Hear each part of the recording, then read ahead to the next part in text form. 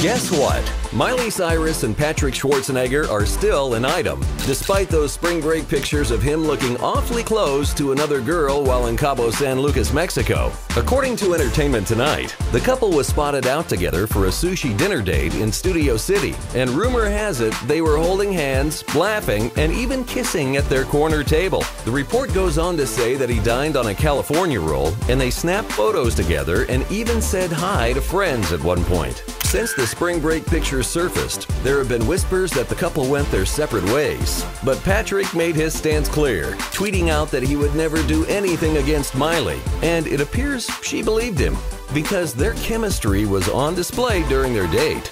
We love it when a story has a happy ending.